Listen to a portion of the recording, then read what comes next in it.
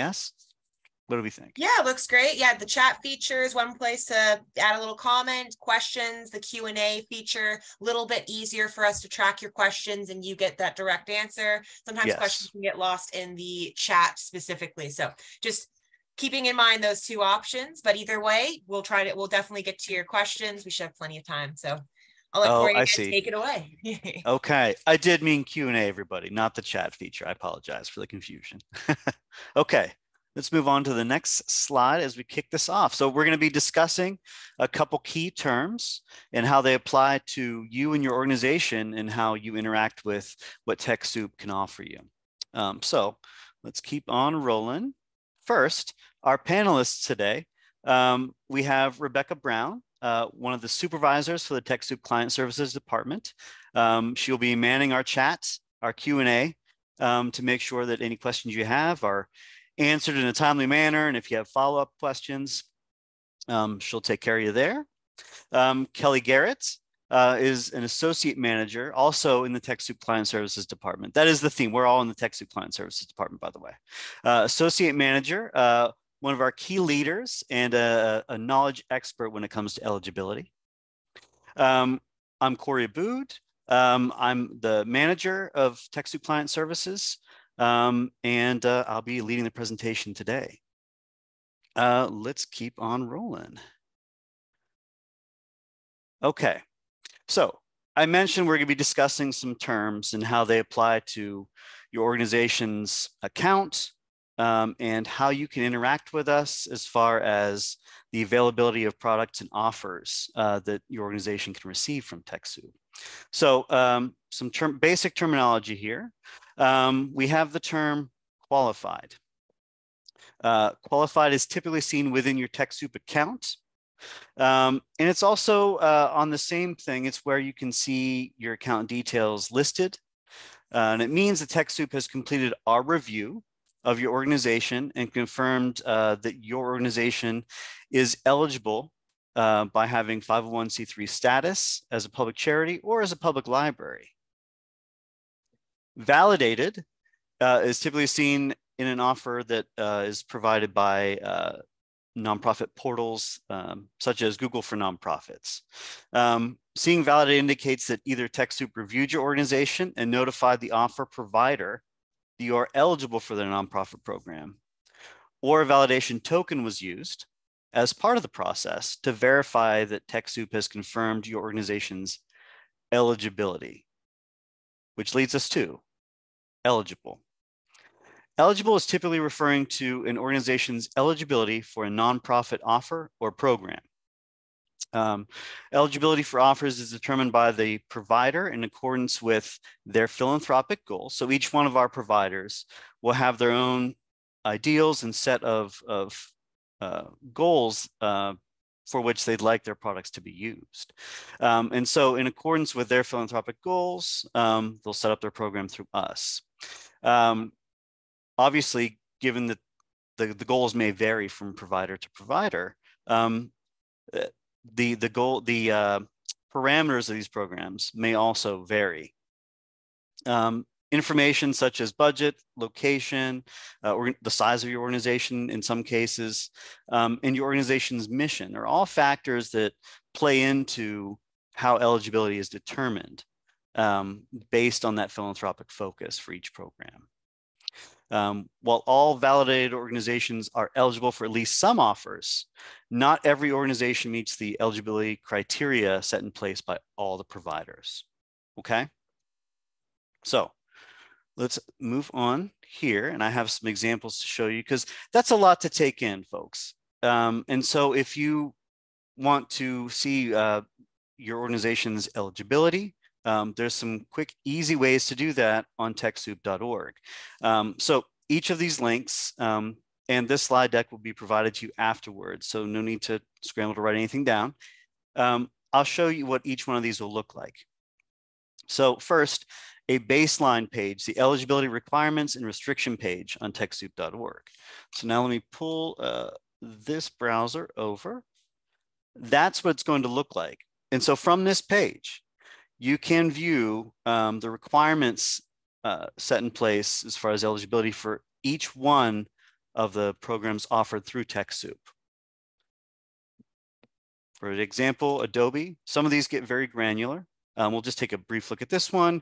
It really does give you an overview of exactly what is needed, uh, what requirements are needed to be met in order to be eligible for their program. Okay.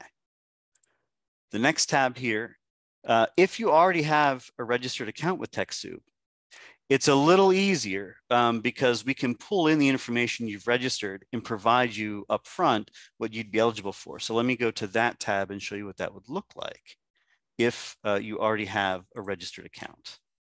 Okay. So I've got a couple organizations here. Let's just do this.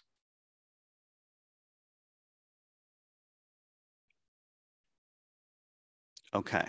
So as you can see, the programs that are clickable here, the, these, these links, these are things for which my organization would be eligible for. If it's grayed out, those are things that we would not be able to uh, take part in, okay? The next one, if you've not registered your organization, I would suggest going here. This is the eligibility quiz. And so let me pull that back over and it looks like this. So you just go through, let's say you're a 501c3 nonprofit, you pick your location, it'll refresh like that. oh, because I'm logged in. I apologize. Let me log out.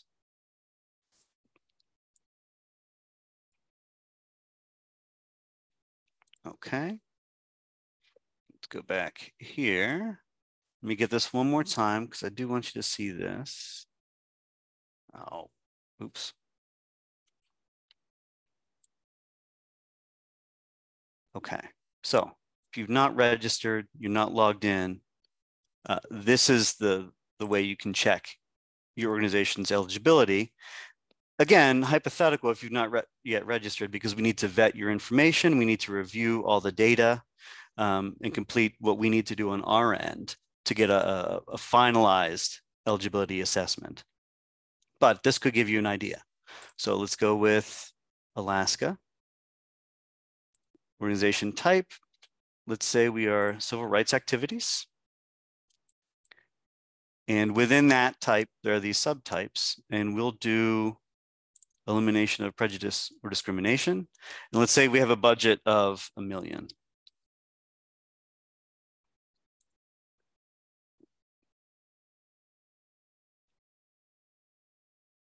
Okay, and so once again, we're back at this page where if based on the information you provided, you'd be eligible. These are, these are the options available to you, the hyperlinked options here. Um, okay.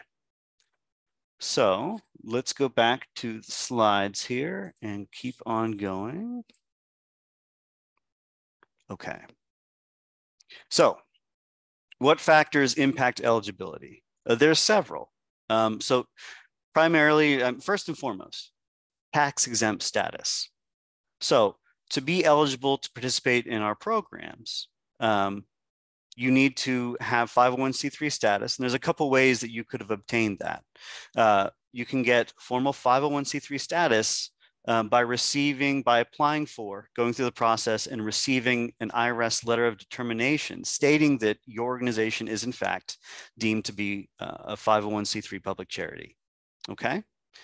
Uh, the other way you can do this is uh, you might not have your own 501c3 status, but you might be part of what's called a group exemption, which is an, uh, an organized group of, of organizations that all share the, a, a uh, 501c3 status derived from a parent organization.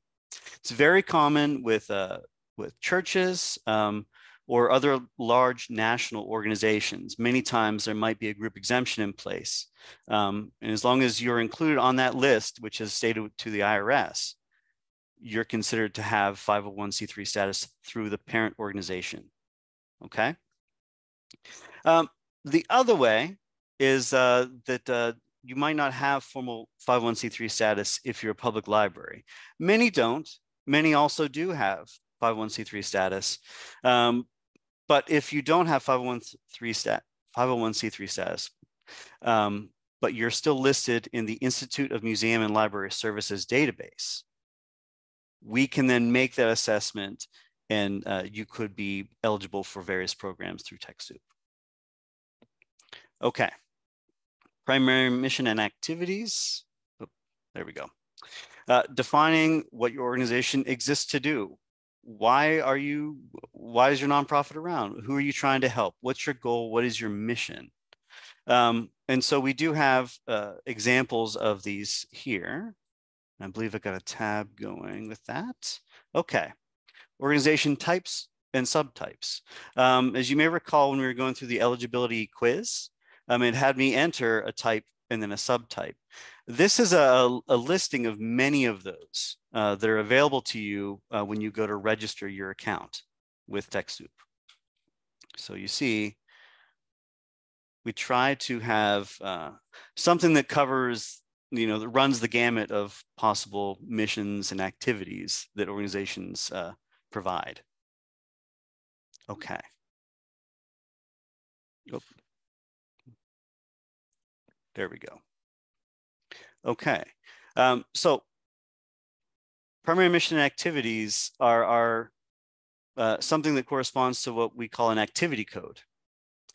And so what we would do is, for example, if your organization, uh, you are uh, friends of the local library, and primarily what you exist to do is support that library through fundraising, getting donations to, to you know, keep the library uh, healthy. Um, what we would do is we would look at your, your mission statement, um, you know, assess that that is in fact your, your primary focus is fundraising in support of the local library. At that point, we would assign what's called an activity code that corresponds exactly with that mission. And again, just like tax exempt status, there is eligibility that's based on that activity code. Because again, each partner might have different, uh, a different philanthropic focus um, for their programs that they want to offer through TechSoup. Uh, another element, uh, element is budget. Um, this is one where not all programs will have a budget requirement, but some do. Uh, for example, as we saw with the Adobe uh, listings, um, they have a threshold of, of 10 million. And again, that corresponds to where they want their, their services or products targeted based on their objectives and, and philanthropic focus. Another aspect is location. Um, and so we do work with nonprofits all around the world. Um, we have uh, ex except in uh, certain embargoed countries.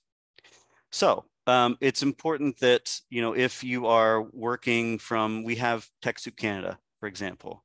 If your organization is based in Canada, you would register with the TechSoup partner uh, that runs the Canadian programs.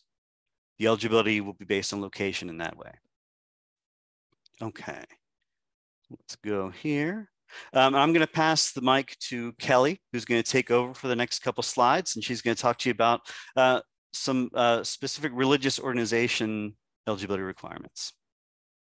Hey, everybody. Um, thank you, Corey, for that great overview. Um, hopefully that's really cleared things up for you all. Um, in the um chat just so you know the links that we looked at i did ping the i did ping those into the chat so if you were wanted to follow along they are in there um and again we will you will automatically get this recording and slide deck sent to you after this meeting um, to the email address you registered with TechSoup events might be different than your regular TechSoup login. So just keep that in mind if you don't see it. And I did also put in our link to our archives for the recordings and the slides. So we've got it everywhere for you. You'll be able to come back. Um, so now we've kind of gone over the overview. I'd like to dive into a little bit more specific situations about eligibility. Um, one big question we get from organizations, um, specifically religious ones like churches, um, places of worship, things like that, um, is are am I eligible? Um, as Corey kind of explained, we are we do require um, organizations to be 501c3 public charities recognized by the federal IRS, or you know a public library that's in that IMLS um, database. Um, so that is a requirement. It is not something we can bypass. It's not something we can grant an exception to. And um, a lot of places of worship are concerned that uh, that we're not recognizing automatic tax exempt status that religious organizations have. Um, I'm not going to read this whole statement to you. You can reference it when you get the copy of it. Um, so it's something you can come back to. But basically, most places of worship um, are eligible, and they're usually eligible through their own independent 501c3 nonprofit status, or they're covered by what's called a group exemption. A lot of um, denominations, their headquarters or regional, either national or regional, will register with the IRS as a non as a 501c3 and then they're given a group exemption which means all of their affiliated organizations um, get an official subordinate status by the IRS, which that allows them to use their parent organization's EIN number, um, which is the tax ID, which we use to help identify tax status. Um, and then they can register and go through that path because they are technically a 501c3 under this umbrella of the group exemption. So if unfortunately religious organizations that are not um, part of a group exemption or don't have their independent status are not eligible. And we do hear from a lot of folks that you know being um, tax exempt and 501c is the exact same thing for churches. And that's not actually accurate. Um, our wonderful legal team helped craft this explanation for folks that are curious what what the differences are. And there is a link there um, in case anyone in here is a place of worship curious about group exemptions curious about what the differences are. Main thing though is that um, you know churches automatically are tax exempt.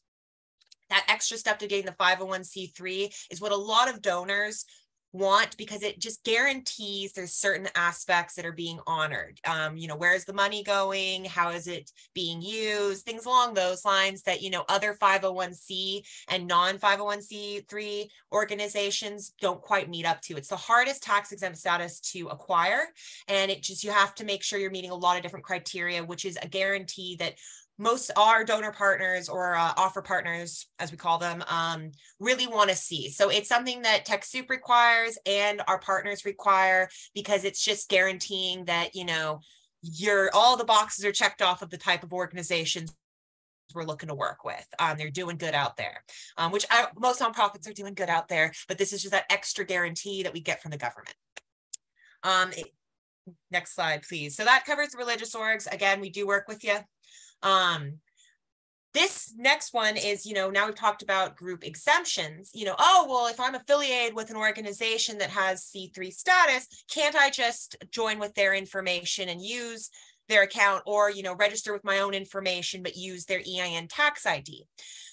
A lot of times these are fiscally sponsored organizations or programs. Um, what a fiscally sponsored organization or program is, is it's usually a separate entity that has um, partnered up with a 501c3 nonprofit, and they are being sponsored by that 501c nonprofit.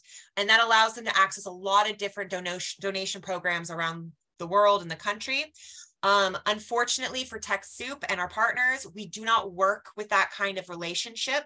Uh, we do need to make sure that, you know, the fiscally sponsored organization is once again meet, meeting all those requirements that guarantee that our partners and TechSoup are, you know, donating discounting offers to organizations that are meeting our requirements. Um, so until a fiscally sponsored organization or program is able to um, acquire its own independent status or gets fully brought into its sponsor, like say it stops being a separate entity, they join, it's now a department in there, that's totally fine. If you're part owned and operated by that organization and you're not a separate entity, totally eligible. But if you're a separate entity that's basically being sponsored, unfortunately, you're going to have to go through the you're going to have to go through the process of getting 501c3 status to be eligible for TechSoup. And that goes for our partners um, programs too. Like if you go to Microsoft for nonprofits and try to register, you're not going to be um, validated for that. Same with Google for nonprofits. Um, anything that's off the TechSoup.org website has the same requirements as when you're registering with TechSoup. So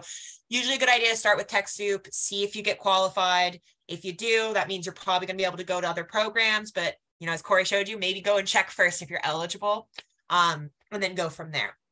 If you're curious about this, we have a great article that's listed right there um, under learn more about fiscally uh, fiscal sponsorship eligibility, um, breaks it a bit more down. And uh, later on in this slide, I do have a link on how you can contact customer service. If you do want to follow up us about any of this or have any questions specific to your organization, we can definitely assist you.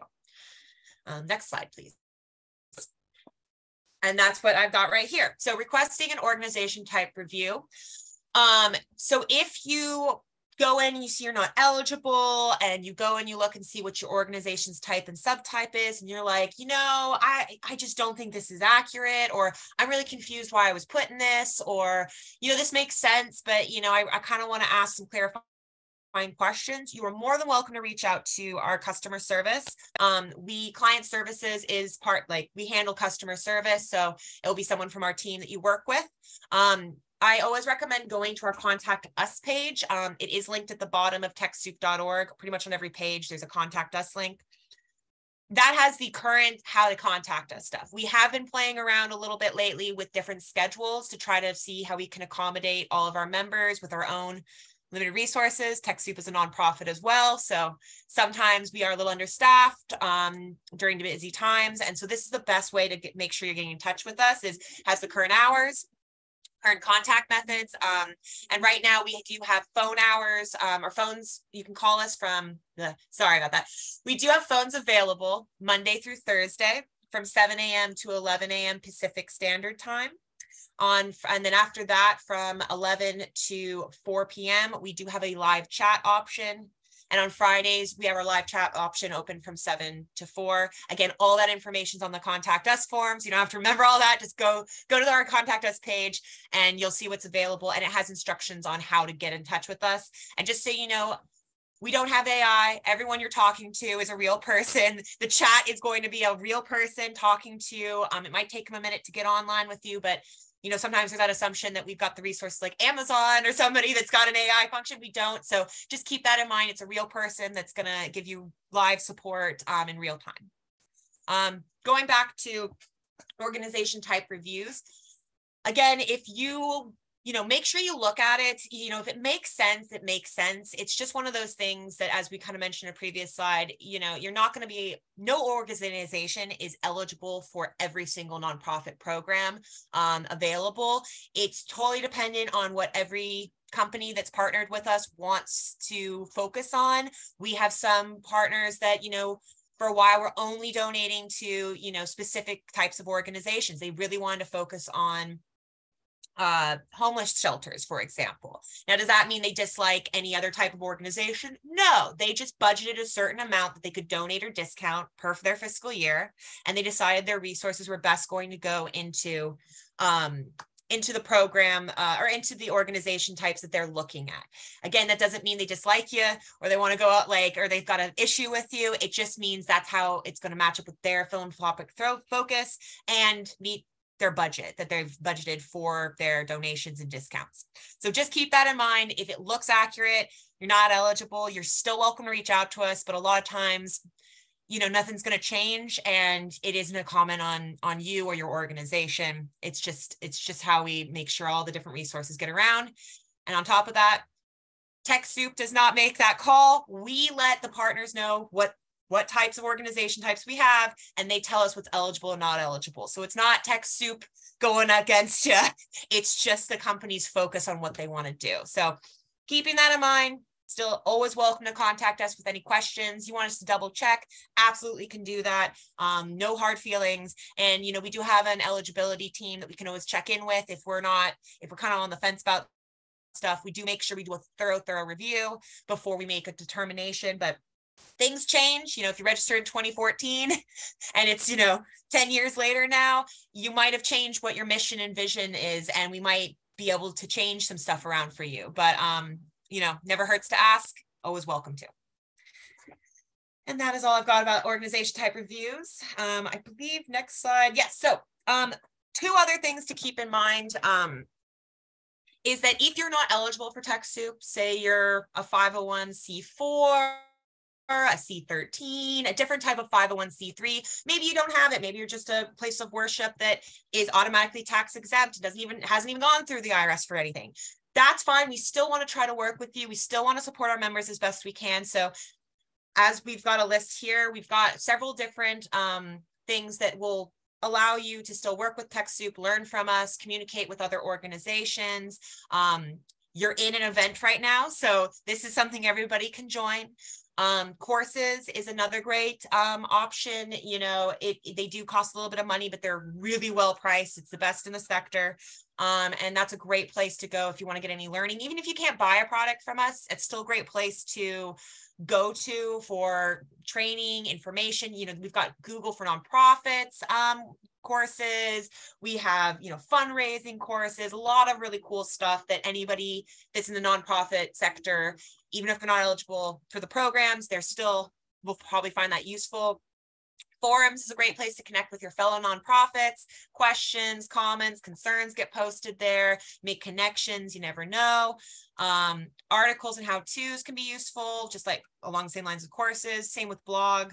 The blog's a great place to go because um, we do put a lot of different um, content out there. You know, I just recently saw one that was about, you know, how to optimize marketing and fundraising techniques in 2023. Really cool, different blog stuff that that comes out periodically, and we try to make sure it's uh, relevant and available for all types of organizations out there.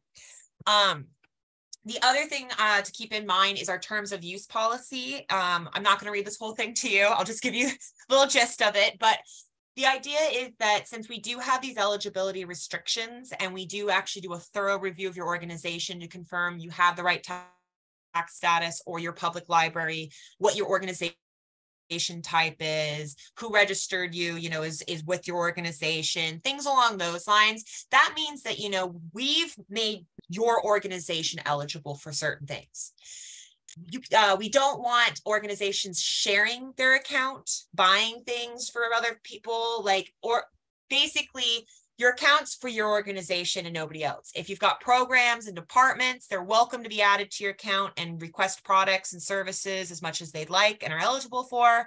But if you're friends with the nonprofit down the street and they just don't have the bandwidth to, you know, register with TechSoup and you're just going to get them an office, you know, standard for them real quick because they just need it, that's not allowed. Um, we do need every organization to come and register themselves. They do need to request products only for their use and for their employee, volunteer, or you know, if you've got a class or something, it has to be used for your mission, your vision, your activities. It can't be just given out, sold. Um, a popular question I get is, hey, I'm having an auction. I want to raise money. I'm going to buy five laptops from TechSoup and then I'm going to give them away for the auction even though that's going towards your activities and helping fundraise for you, that's really not allowed. We, you can't resell the stuff. You can't give it away, even if it's a charity program. And there is some, there's a few programs that have a little wiggle room for that. Um, there's some, like I believe one of the, I believe it's the Dell catalog. That's one that allows friends and families to use the nonprofit rates, uh, stuff like that. So just make sure you're checking out that eligibility page Corey showed you. Um, that's broken down by program. The nice thing is that all that information on that nonprofit uh, eligibility restrictions page is also on the product page. So when you go to TechSoup.org, find your product, click on it.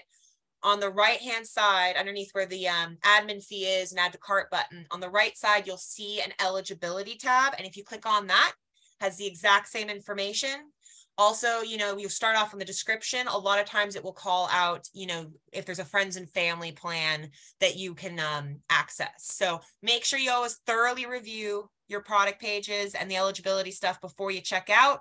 We have a pretty strict no refunds and no return like no exchanges policy. So important to keep this terms of use in mind. You don't want to be breaking it and then you also want to be keeping in mind you know checking all of the product page information before you you move forward with getting something and then realize, oops, I bought this for so and so and I can't give it to so and so and now I can't get my money back. That's the worst. I, you know, you're trying to do a good thing and then it just doesn't work out. So keep that in mind. And again, you can always contact customer service if you've got any concerns, you're not sure, um, you know, any feedback you've got of, hey, I read this and I thought it said that. We love feedback. Um, we always take it. We can, again, that's what we're there for is to support you and answer your questions. And that is what I've got to say about that. So um, that's the end of this presentation. We've still got 30 minutes left. We were happy to hang out until 11 a.m. if everybody's got questions. Again, you've got that QA um, option to post your question for any quick answer. Um, I see folks have been asking questions in the chat, which Rebecca's been helping answer. Um, so now's the time. We'll give it five minutes. And if it gets quiet, um, we will end a little early here, but thank you so much for joining us again. This is our first time hosting our own little webinar for our office hours, and it's something we'd like to do in the future. So um, keep an eye out. We will continue having these um, these meetings. And uh, Corey or Rebecca, I'm not sure if you guys want to add anything um, along this topic. Well, just that uh, if, if if you're unsure about anything related to eligibility, reach out to us. We're happy to help you with any questions you have. Okay.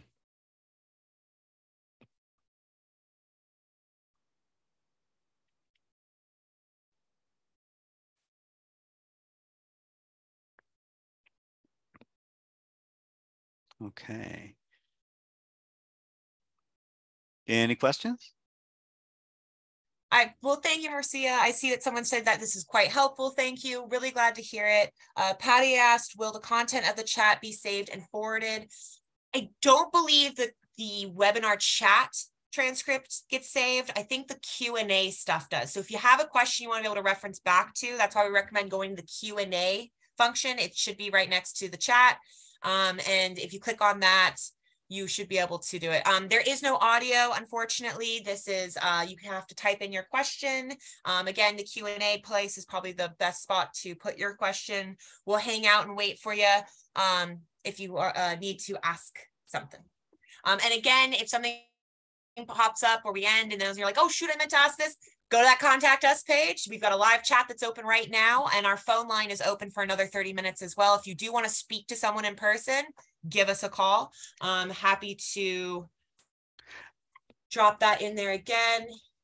I'll show you where that contact us page is. Yeah, so let's show them the contact clear. Us. But the link is also now in the webinar chat channel, so you can click on that um, as well. But see, it's down here, contact us. It's pretty much every it's pretty much on every page for TechSoup.org. It's not on the events.techsoup.org page. So just make sure you're on our main our main website. But you'll see we've got chat support. We've got our phone number listed right there if anyone wants to call us after this. Um, if you need to mail us something, we got our mailing address, um, all that good stuff.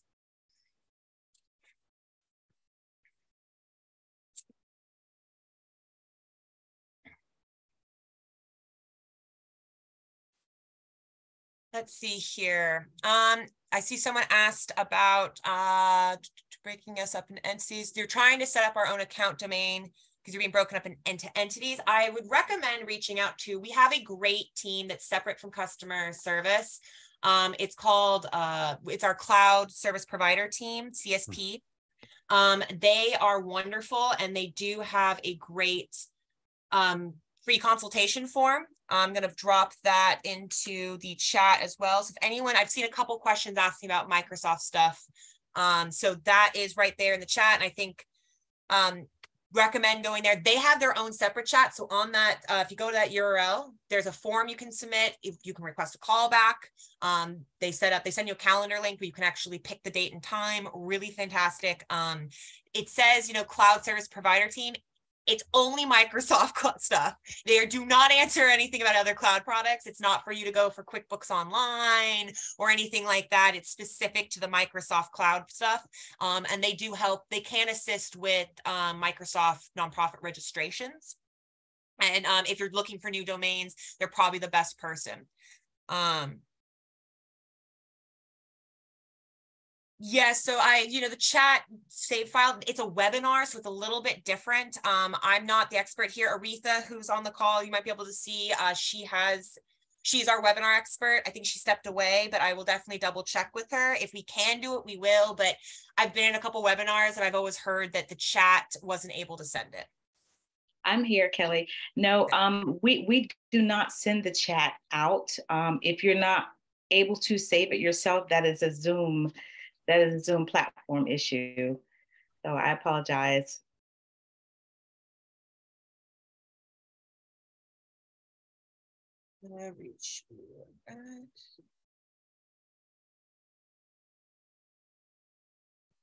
Yes, so um, we can definitely, um, thank you. You're welcome. Thank you for all the thank yous.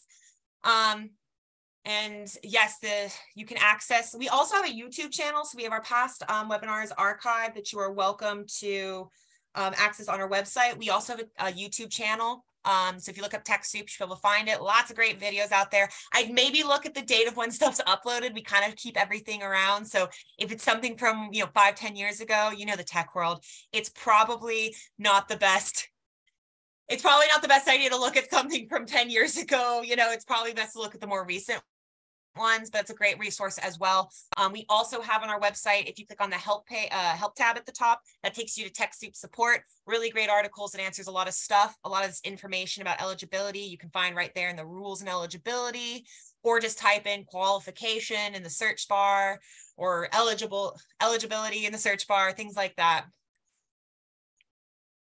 So go so yeah, welcome to reach out at any time. I'm to give it a couple more minutes here, see if any more questions trickle through.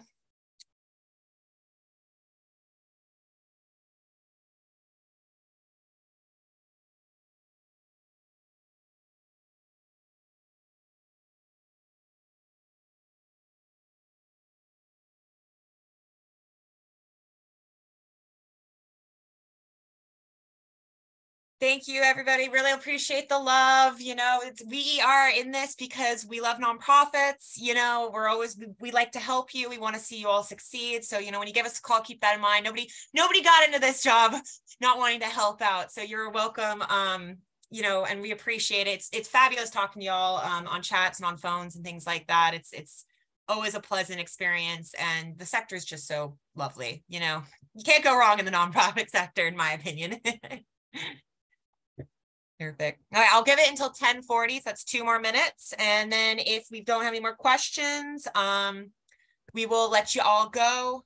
And um, I, if anyone asks to be reached out to, we will do that today. Um, some of us sent, some people send us private direct messages. So we will make sure to get back to you if you asked for a contact. Um, we try to be really good about getting back to folks within one business day when you do reach out to us.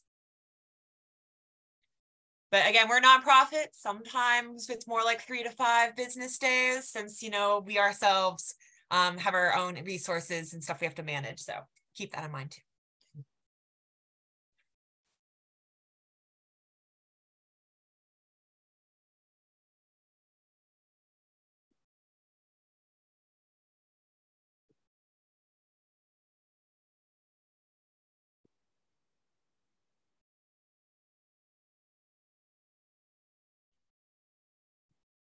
Perfect. Okay, one more minute and then we're, we'll wrap it up here. Looks like nothing else is trickling in, but we'll give it one more minute.